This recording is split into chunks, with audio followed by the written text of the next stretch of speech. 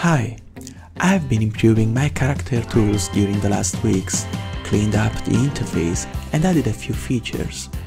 Expy Kit, now very close to version 1, has changed a bit since the last video. I have grouped the entries of the right-click menu under three main categories.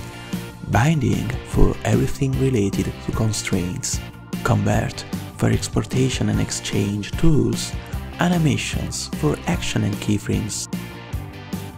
It was kind of necessary as the menu was growing too much in size. I've also unified Rigify forward and inverse kinematics into one single option. Now, animations are applied to both types of controls and we can switch between the two. There is still a small mismatch between IK and FK positions. It's no big deal to me, but it should be fixed at some point. I have changed the bind source and target properties to to bind and bind target. The terms added no explanation. I have to admit, after a few weeks of inactivity, I couldn't figure out their exact meaning. There is now an execution button for the bake operator. Sometimes animation baking can take time. We may want to check the properties before it starts.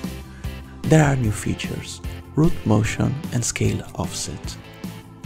Scale offset groups the mesh and armature under a scaled empty object, countering the scale. Its effect is not immediately visible. It comes useful when we export an object towards a different measure unit.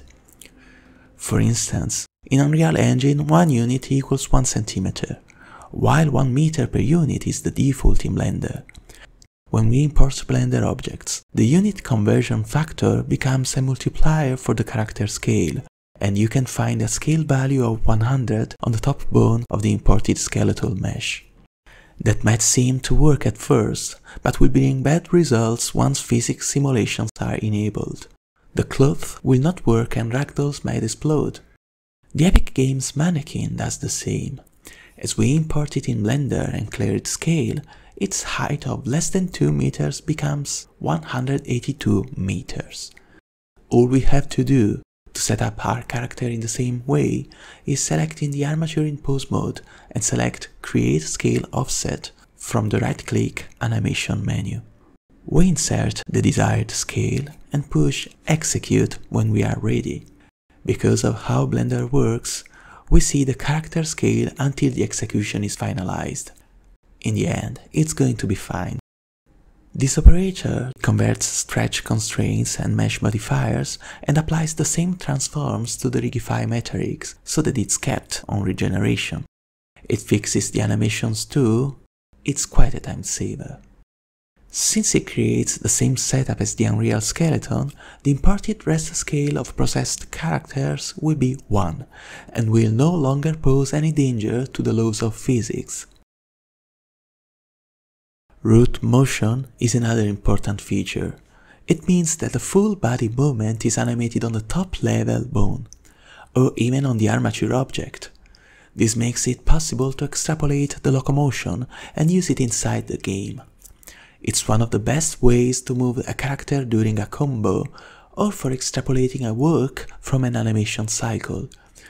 If the root bone lies behind, it means that there is no root animation yet we can right-click in pose mode and use the operator hips to root motion from the animation menu. In the options, we select the rig type, the suffix for naming new actions, and which channels we would like to extrapolate. Typically, the y-axis in a forward motion. Some animations move the character on the x-axis as well, and acrobatic feats might need all three. The way it plays in game can vary with the game engine.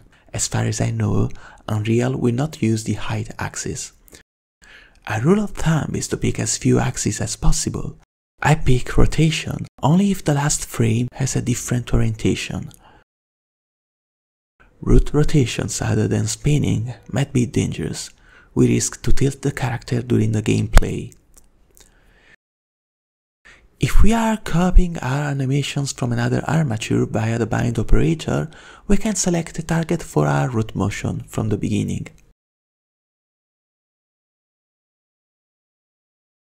The two operators apply the rotation axis in a different way. The bind operator considers each axis individually. It's a front end to the constraint. In this case, the rotation of a spinning object is copied by enabling the z-axis.